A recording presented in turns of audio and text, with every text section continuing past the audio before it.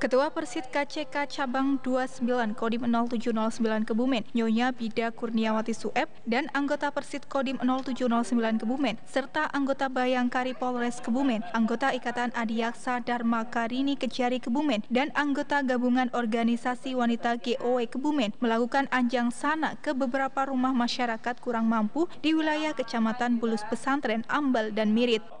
Dalam kunjungan pertama yang juga didampingi Dandim 0709 Kebumen Letkol Kavaleri Sueb mengunjungi pasangan Compo di Dukuh Raga Yudan, RT 1 RW 2 Desa Bocor, Kecamatan Bulus Pesantren.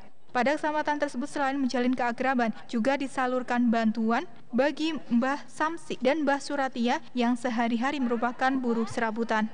Di Desa Bocor, rombongan Persit juga mengunjungi Wasien, seorang janda tua yang kemudian diberikan bantuan. Di Kecamatan Ambal, rombongan mengunjungi di Desa Ambar Winangun dan Sidorejo.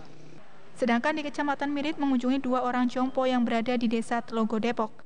Pemberian paket bantuan disampaikan secara simbolis oleh Ketua Persit KCK Kodim 0709 Kebumen. Dengan memberikan bantuan tersebut diharapkan dapat meningkatkan rasa sosial sehingga terwujud rasa kebersamaan dan menjalin silaturahmi.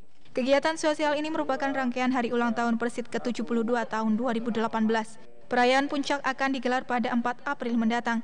Dari Kebumen Tim Liputan Rati TV memberitakan.